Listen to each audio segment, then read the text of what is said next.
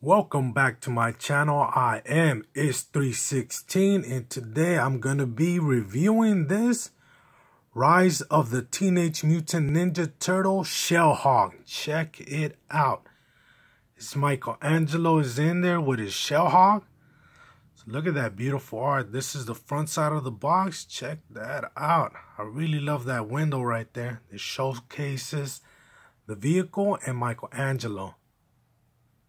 And this is the side of the box. As you guys can see, this Shellhog does have a transformation. It's telling us right there how to make it. And this is the back of the box. As you guys can see, this box uh, has beautiful art in the back also. And I do have Leonardo, so I will be reviewing him in a later video, so stay tuned for that. And this is the side of the box. As you guys can see right there, I think that's the turtle van or something that looks like it.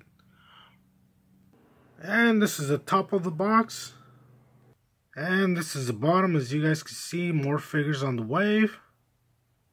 And here we are a little bit closer. Check out all those figures and that vehicle right there. What is it called? It's called the Turtle Tank. That looks very nice. Very nice figures right there. So now let's move on. So there he is one more time before he, we take him out of the box and check him out for ourselves. So here we go. And this is the way Michelangelo looks alongside his Shellhog. Check him out. He looks very nice. I do like this figure. This figure is exclusive to this pack right here. So if you want this figure the way he looks right there, you have to get this pack or else you won't be able to get him. So here is Mikey, the way he looks from the front. And this is the way he looks from the back. Check him out. I like that color scheme. And here's Michelangelo. Let's get a little bit closer to see all those fine paint apps and those details on this figure. Look at this helmet right there. I like the way the helmet looks. Check it out. It has a little bit of paint right there. Lightning stripes. The goggles look pretty good. The face looks pretty good. Look at this Michelangelo. He looks very nice. He looks just like the brand new show that's out right now. The hands. I really like this figure a lot. Even has like sad and happy faces right there. Oh, that looks funny. Get the toes. Very nice, good looking figure. The shell right here. The legs. Look at all that. Very nice figure. So let's check out its articulation. Left, right, down, up. Does he go all the way around? Yes, he does. Very nice. Okay, let's see. He goes out, that much, down, up, and he does go all the way around. Single joint in the bicep, and he also has swivel right there. The hand does go all the way around. And that's pretty much it from the for the hand right there in the arm. Now he doesn't move because of the shell, you know. Okay, he can't kick all the way up right there, all the way back. Pretty good. Single joint in the knee. The foot does go all the way around and it does move down right there and up right there. And uh, that's it. So he has pretty good articulation. It looks pretty good. So now let's check out the Shellhog. Here we go.